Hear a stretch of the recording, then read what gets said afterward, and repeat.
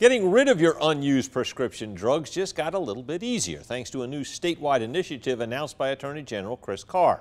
As Zach Merchant tells us, officials say taking advantage of it could be as easy as going to the drugstore. Georgia's Attorney General Chris Carr did not mince words Wednesday afternoon. The opioid epidemic is truly a crisis. It's not only a national crisis, it's a crisis in our state. And he said the effect on our state is widespread. We had nearly a thousand Georgians die last year, and the problem is it knows no geographic, economic, or demographic boundaries. So it's an issue that we are dealing with no matter where we go in the state of Georgia. In an effort to reduce those numbers, Carr, along with State Senator John Kennedy and CVS Regional Vice President Brian Bosnick, announced the rollout of 24 drug collection boxes in CVS stores all around the state. Those boxes are places where people can drop off unwanted prescription drugs free of charge and without question.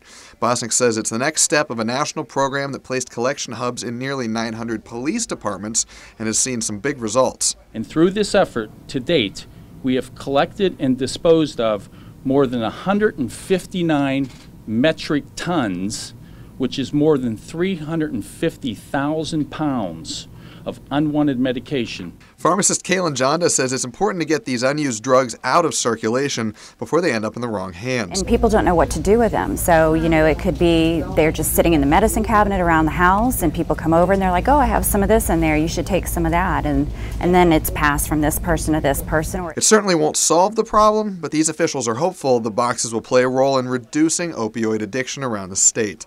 In Macon, Zach Merchant, 13 WMAZ News. Today's announcement, part of a nationwide CVS effort. 750 collection boxes will be placed in stores around the country over the next several months. Of the 24 stores with boxes in Georgia, only one is in central Georgia. That is at the CVS Gray Highway location. However, Walgreens has a similar program at their Macon and Warner Robins locations.